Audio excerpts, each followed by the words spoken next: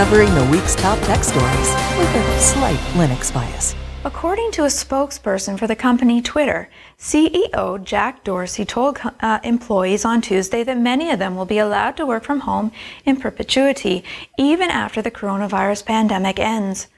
In an email first obtained by BuzzFeed News, Dorsey said it was unlikely that Twitter would open its offices before September and that all in person events would be canceled for the remainder of the year. The company will assess its plans for 2021 events later this year. The spokesperson said, We were uniquely positioned to respond quickly and allow folks to work from home given our emphasis on decentralization and supporting a distributed workforce capable of working from anywhere. The past few months have proven we can make that work. So if our employees are in a role and situation that enables them to work from home and they want to continue to do so forever, we will make that happen. If not, our offices will be their warm and welcoming selves with some additional precautions when we feel it's safe to return.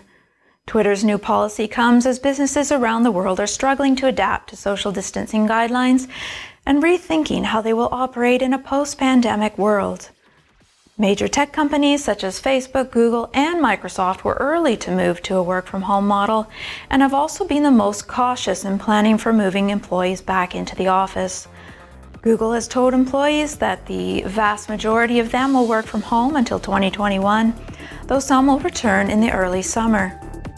Facebook will similarly start to reopen offices after the July 4 weekend, but will let employees who are able to work from home do so until next year.